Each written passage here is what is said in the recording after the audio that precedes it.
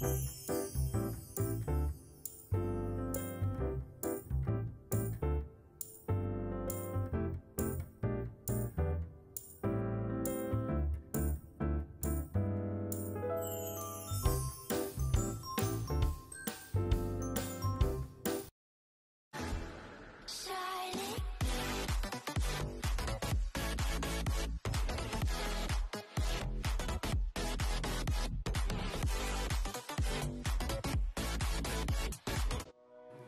Ayan na po guys, nagawalis po ako guys kasi masyado po kasi maano yung ano ng ano ng dahon sa labas. Um, masyado po siyang madaming ano kasi gawa po kasi ang dami kasi ng puno sa gilid ng bahay guys. So naisipan ko po guys na mag-ano na lang ako, magwawalis. Tapos, nagtataka po ako guys kasi meron palang mga sisiyo. Nakalabas pala yung mga sisiyo doon sa may ano, sa may ano nila, lalagyanan. So, hindi ko po masyadong nalakasan ng pagwalis, guys, kasi andyan pa yung mga sisiu. And then, pagkatapos po, guys, is um, nakadress po ako dyan. Yan na po yung nagawalis, guys, na nagdi-dress. Ayan po, guys. Sige, gumalas lang ako ng walis, guys, kasi syempre, guys, para mapapawisan naman po tayo. Ayan. So, di ba? Ayan lang po yung nakapagwalis na nakadress. Natatawa ako sa sarili ko kasi ba't pa naman kasi ako nagde-dress.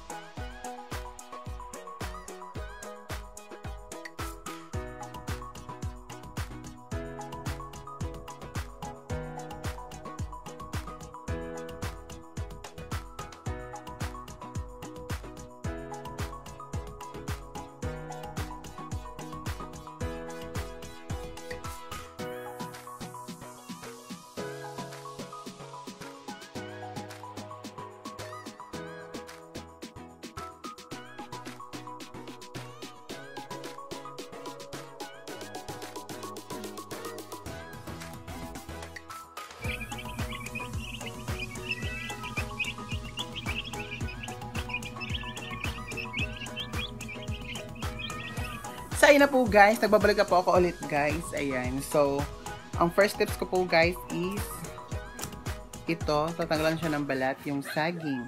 Ayan. Masarap to guys kasi ano na siya. Talagang hinog na talaga siya. Ayan. Masarap to.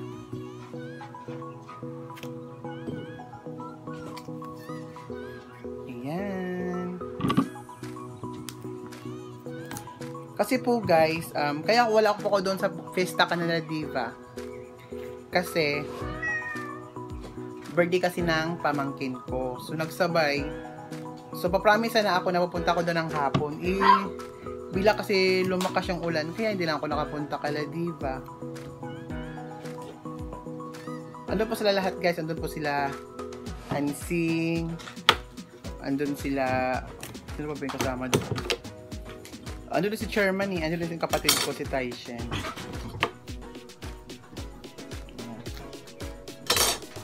po guys. Ito po yung saging guys yung nakaraan na hinarvest ko. Ayan.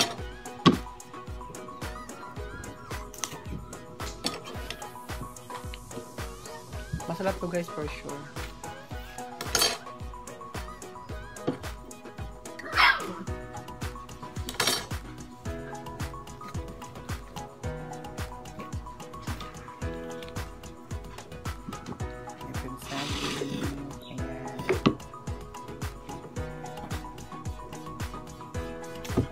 Sobra kasi sa, sa ano kagahapon guys kasi naglumpia kasi si mama. Kasi birthday nga kasi ng pamangkin ko. So nakita ko, parang magagamit pa to. Ayan. So thank you pala guys ha. Kasi road for ano na tayo? Road for 13,000 subscriber. Ayan. Tsaka yun po guys, hindi na ako po akalis-alis guys kasi dito na po ako mag ah, ano sa ano dito na po ako mag tawag dito mag-upload sa bahay kasi may wifi na dito sa bahay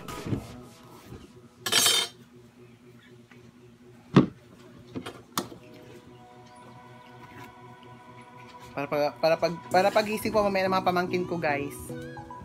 Meron na po silang merenda. Ayan. Kaysa bibili sila ng mga chichirya, guys. Huwag po natin hayaan yung mga bata na kumakain ng mga chichirya. Kasi hindi po yun ka maganda sa kalusugan ng mga bata.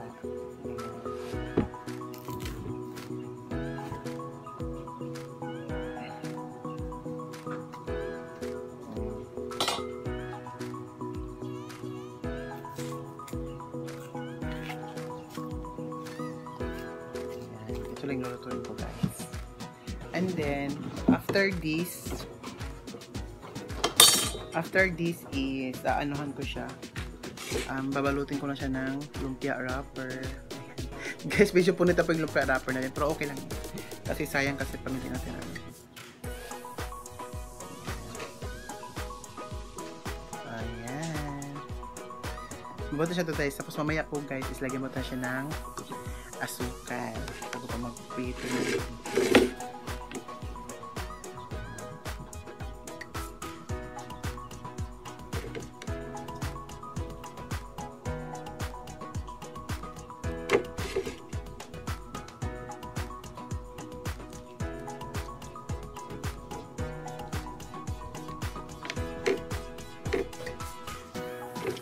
Putol-putol po siya guys. Pero okay lang yan kasi maliliit naman yung sag.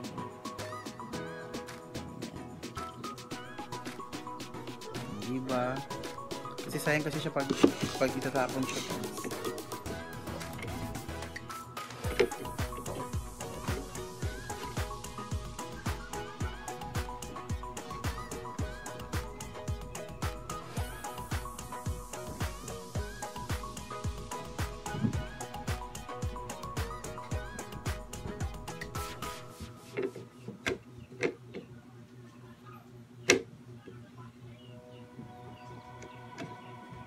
Hindi ko na ito makakaano guys kasi ano ba to? Parang nilagay kasi sa rep kaya nag-crispy siya. Ano ba kasi ito? Gagawa ito ng paraan guys. Ayan. May maliliit yung mga sabi. Pag, parang hindi ka ito mabalot lahat guys kasi nag-ano siya eh. Tawag dito lumambot. Nagmumoy siya. Ah, sayang. ah, sayang yung ano wrapper.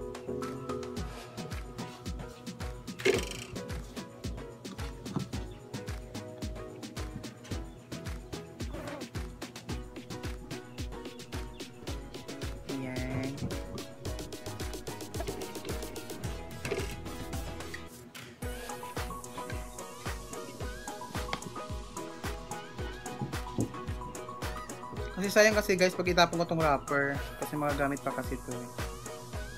Yan.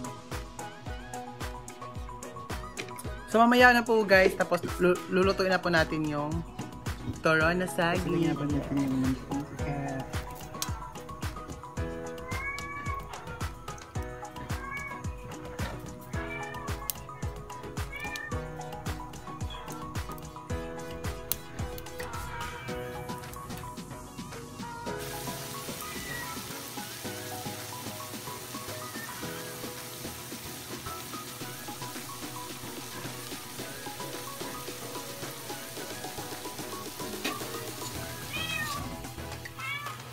Wala kang bagoy.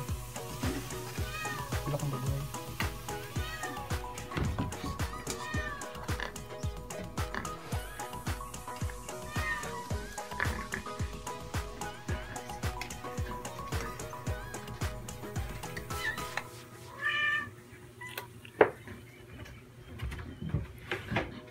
Okay na.